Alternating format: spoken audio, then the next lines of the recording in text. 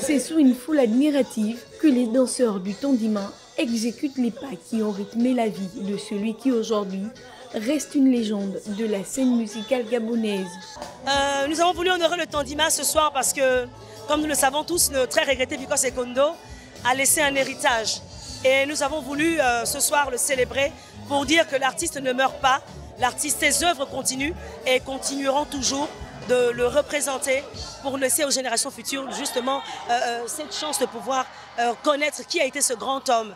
Parce qu'un artiste ne meurt jamais, Vico Secondo, à travers son art, était présent à ce grand concert live. Pour rappeler au peuple gabonais les valeurs du Tandima, Lauriane Kondo, sa fille, n'a pas manqué d'exécuter une prestation en l'honneur de son père. les valeurs de solidarité, les valeurs d'unité, surtout l'amour, parce que c'est ça le Tandima, le leitmotiv d'abord. C'est vrai que c'est l'enracinement et l'ouverture, mais c'est surtout les valeurs de paix.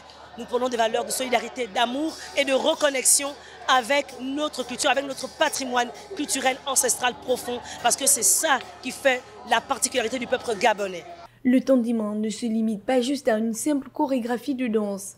Chaque pas a une connotation particulière. Tout se résume à un message d'union, d'amour et de paix.